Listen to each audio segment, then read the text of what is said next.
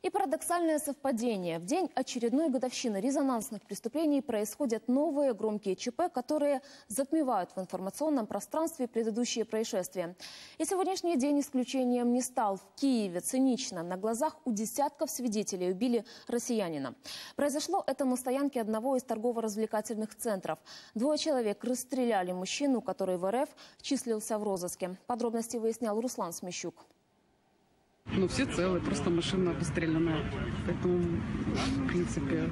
Ну, ничего, что он там труп лежит. Труп лежит? Ну, он же накрытый. Около 11 вечера левый берег столицы, парковка возле ТРЦ. Неизвестные из автомата убивают мужчину, а после сбрасывают ствол, садятся в автомобиль и спокойно уезжают. Все на глазах десятков очевидцев. В общем, человек видел того, кто стрелял. У нас на парковке лежит автомат и тело.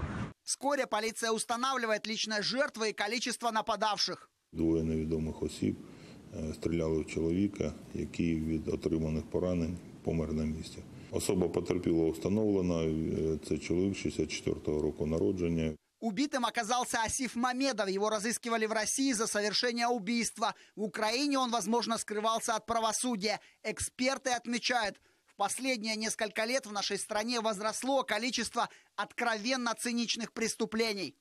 Вот э, цинизм и открытость совершения такого рода преступления, да, оно стало, оно увеличилось в несколько раз. Сегодня это более доступно, и на сегодняшний день мы уже начинаем, извините за выражение, за цинизм, к этому привыкать. Существует такой стереотип, что якобы на это влияет война, которая идет на Востоке. Да, конечно же, влияет.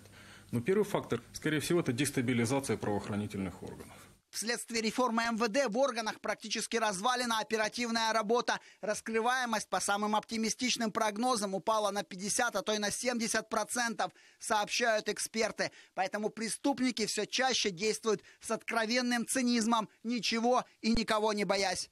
Руслан Смещук, Иван Матриченко. Подробности телеканал Интер.